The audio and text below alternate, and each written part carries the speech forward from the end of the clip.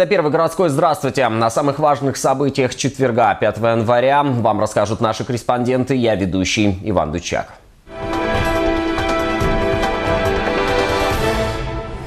Смотрите в выпуске. В Кривом Роге неизвестные сняли кожу с собак и подвесили животных на дереве.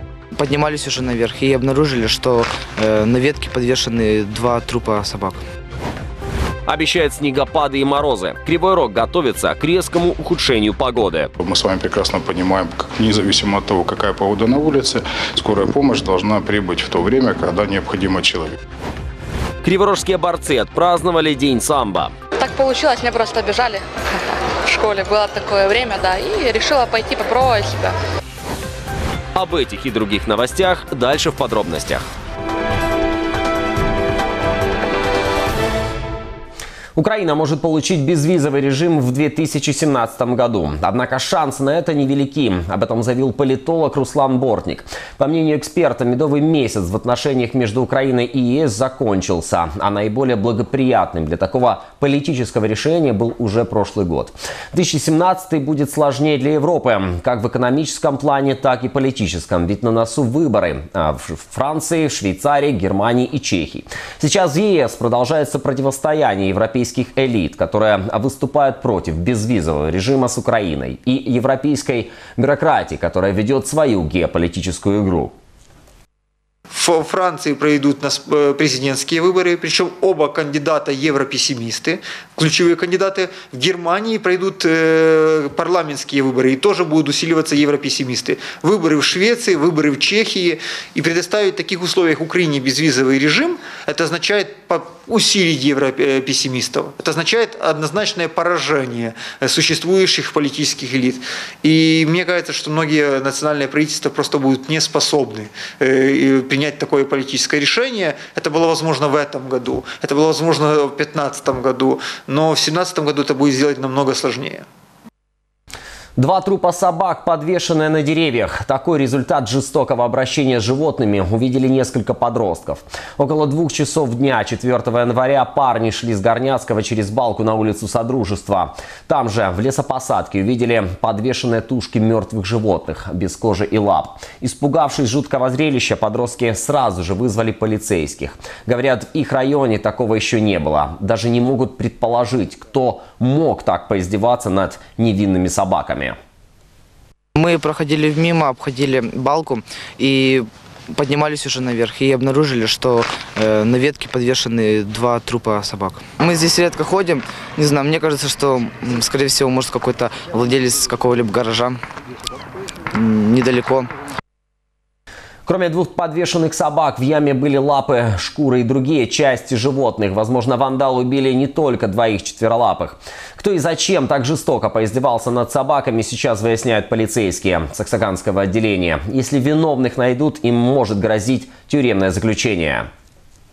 На данный момент проводится следственное оперативное действие. По части 1 статьи 299 внесены ведомости до реестру. Э, санкции данной статьи – это э, штраф до 50 неблаговых минимум доходов граждан или арест до 6 месяцев. Грозился взорвать дом. Ночью 5 января в полицию поступил сигнал о минировании многоэтажки в Покровском районе города. Неизвестный сообщил, что в одном из домов на четвертом Заречном находится чемодан с взрывчаткой. На место оперативно прибыли спасатели, полицейские, медики и взрывотехники. В это время в здании находилось 350 криворожан. Их эвакуировали, территорию оцепили и проверили. После проведенных работ оказалось, что вызов ложный. Взрывных устройств не обнаружили. Спустя два часа люди смогли вернуться вернуться в свои квартиры. Правоохранители задержали злоумышленника. Им оказался житель этого дома, который недавно вернулся из АТО. Он был в состоянии алкогольного опьянения. Мужчина долго не шел на контакт с правоохранителями, но начальнику Покровского отделения полиции удалось найти общий язык с правонарушителем. В результате он добровольно отправился в райотдел.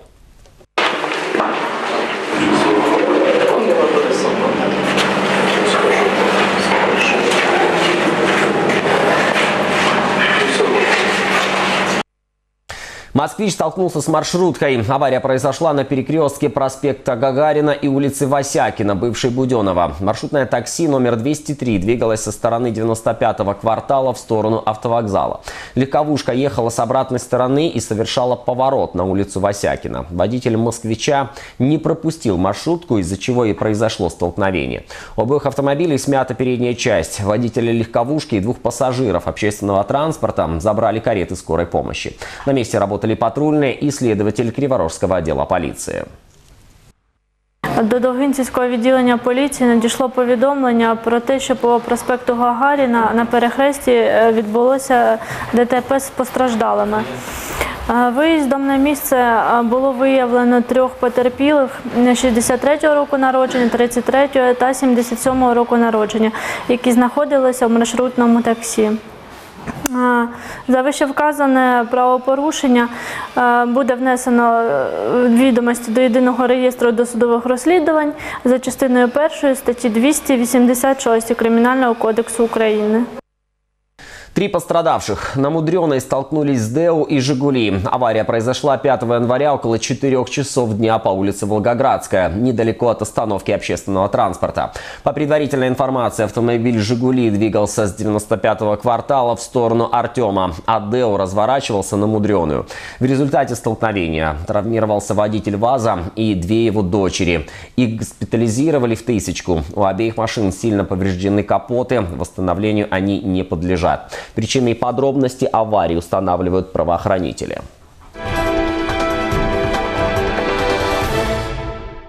На учебу с детьми в корпусе одного из общежитий педуниверситета презентовали детскую комнату, где можно на время оставить ребенка с воспитателем. Теперь мамы студентки могут спокойно отлучаться на экзамен, зачет или на пары, зная, что их дети под присмотром. Для малышей в комнате есть игрушки, карандаши, фломастеры и бассейн с шариками. Побывала на открытии игрового уголка и наша съемочная группа.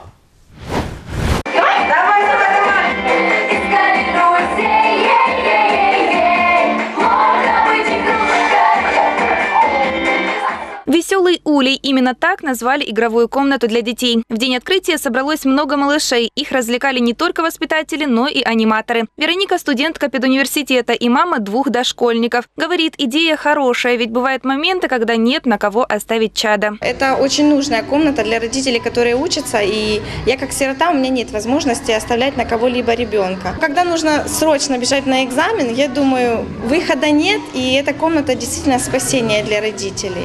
Поэтому это очень хорошо, и я считаю, что э, нужно в каждом вузе, техникуме Комната рассчитана на 10-12 детей. С ними будет заниматься методист, лепить поделки, рисовать, танцевать и петь. Покормить малышей здесь негде, потому оставлять их родителям придется ненадолго. У нас дійсно і гарні є і методичні посібники, і ігри. Е, Діти кожного разу можуть приходити на певні майстер-класи. Ми будемо ліпити, малювати, якусь певну аплікацію. Е, Є в нас автомобілі для хлопчиків, є ляльки для дівчаток, є спеціальні набори, фрукти, овочі. Ну тобто, все всі ті дидактичні матеріали, які е, зазначені і в переліку санітарно-гігієнічних норм. Пока в комнате работает один педагог-методист. Проект еще будут дорабатывать и развивать. Руководство педуниверситета смогло оборудовать комнату благодаря помощи общественной организации «39-я женская сотня». В дальнейшем планируют докупить мебель, столики, диванчики и еще больше игрушек. В русі, е, скажімо так, європейського розвитку нашої держави, оскільки от в Європі, в європейських університетах є таке поняття, е, таке не, статус. Він називається університет дружній до сім'ї. Тобто, коли безпосередньо університет е, виставляє на- в якості своєї такої е, аспекта діяльності підтримку сімейних студентів, підтримку е, співробітників, викладачів, які мають е, сім'ї. Детская комната находится в третьем общежитии. Игровой уголок встретит первых малышей 10 января. Комната будет работать с полдевятого утра до 5 вечера. Посещение бесплатное. Вероника Лавриненко, Евгений Инстрат, Первый городской. Снегопад и мороз в Кривом Роге. С 6 января синоптики передают резкое ухудшение погоды. Температура ночью будет достигать отметки 15 градусов мороза, а днем 7-9 ниже нуля. Порывы ветра до 20 метров в секунду, а из осадков ожидается сильный снег. Но в мэрии уверяют, а, к непогоде готовы. Почти 100 единиц очистительной техники и более 4 тонн посыпочных материалов уже ждут своего часа. Также работают пункты обогрева, а спасатели, говорят, готовы устанавливать устанавливать дополнительные палатки для нуждающихся в тепле. Основная задача э, служб города Кривого Рога, потому что здесь подвязаны не только те службы, которые очищают дороги, посыпают тротуары и так далее и тому подобное. Здесь и бюджетная сфера, школы, садики, больницы, потому что мы с вами прекрасно понимаем, независимо от того, какая погода на улице, скорая помощь должна прибыть в то время, когда необходимо человеку. Это одна из основных задач обеспечить сегодня.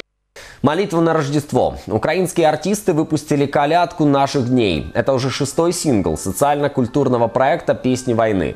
Автор композиции – нацгвардеец и бард Зиновий Медюх, известный как Зенекс Майдана.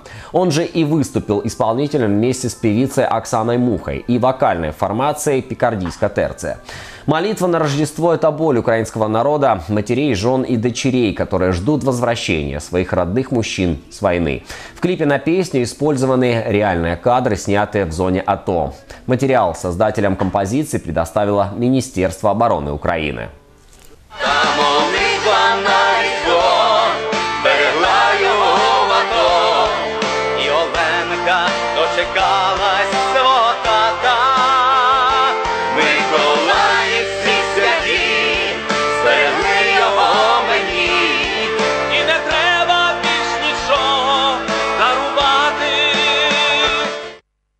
Криворожские борцы отпраздновали День самбо. Лучшие местные спортсмены наглядно продемонстрировали зрелищность и э, действенность этого почти национального вида единоборств. Не обошлось и без награждений, но все-таки краеугольным камнем акции стали именно показательные выступления самбистов. Сногсшибательные броски и обезоруживающие приемы увидел Андрей Чечель. Типичная ситуация в подворотне. Четверо хулиганов пасут, то есть высматривает жертву. А вот и две с виду безобидные девчушки с огромными телефонами. Спрогнозировать итог несложно, но в этот раз все идет не по плану злоумышленников. Незадачливые грабители были настолько невнимательны, что и не заметили форму сборной Украины на своих жертвах. Катя Москалева, гордость спортивного кривбаса. Совсем недавно она стала чемпионкой мира по самбо. Говорит, и занялась единоборствами, дабы не попадать в неприятные ситуации. Так получилось, меня просто обижали в школе. Было такое время, да, и решила пойти попробовать себя. Я на чемпионатах Европы с 15 лет, сейчас мне 18. И вот это только моя первая победа на чемпионате Европы и мира. Я скажу, эмоции неимоверные, впечатления. Когда человек долго идет к своей цели и получает то, что он давно хотел, ну это супер. Вот так девчонки осваивает, казалось бы, совсем не женский спорт. К слову, самым перспективным тренером по самбо в Кривом Роге становится опять-таки девушка. Я считаю, что он и для мужчин, и для женщин. И особенно приглашаю девушек на тренировки, девочек, маленьких, взрослых, любых, девчонок, потому что этот вид спорта, он внушает в первую очередь дисциплину, уверенность в себе и силу. А она даже для хрупкой женщины никогда не помешает. А вот лучшим тренером 2016 года по самбо ожидаемо назван Анатолий Кантур. Глава местной федерации самбо-дзюдо-сумо, он воспитывает дух и тело юных криворожан уже ровно 40 лет. Почти столько же существует и сама федерация, но только пару лет назад, после переформатирования, она действительно громко заявила о себе. направление и желание и э, как бы результаты у нас как бы очень сильно изменились по сравнению с теми годами. Ну, хотелось бы похвастаться тем, что э, наши борцы, я беру и самбисты, дзюдоисты, сумисты, они входят э, в многократном количестве чемпионы и призеры мира Европы. День самбо призван еще больше популяризировать этот эффектный и эффективный спорт среди современной молодежи. Говорят, самое важное, чему он учит, это дисциплина. Тренировки воспитывают характер. А как известно, посеешь характер, пожнешь судьбу. Андрей Чечель, Максим Пономарев, Первый городской. На этом пока все. В студии для вас работал Иван Дычек. Оставайтесь на главном телеканале Кривбаса. Увидимся.